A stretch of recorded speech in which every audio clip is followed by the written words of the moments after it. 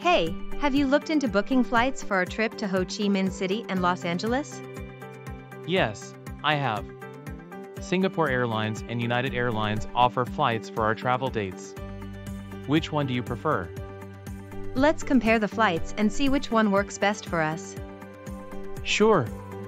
For Singapore Airlines, we can take SQ-177 on Airbus A350-900 from SGNSIN, transit at Changi Airport Terminal 3 in 3 hours and 30 minutes, then take SQ-36 on Airbus A350-900 from SIN LAX, arrives at Los Angeles Airport Terminal B. That sounds good. What about United Airlines?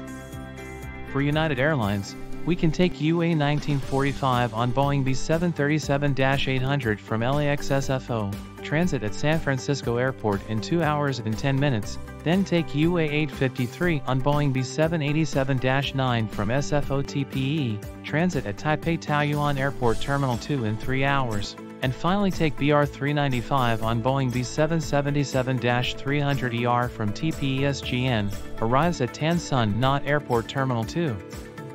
Hmm, which one do you think is better? It depends on our travel preferences.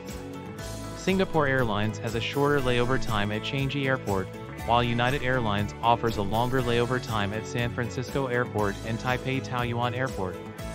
It's up to us to decide which one works best for our schedule and budget. That makes sense. Let's compare the prices and see which one is more affordable. Great idea! We can check the prices on the airline websites or through a travel agency to compare the costs and see which one fits our budget.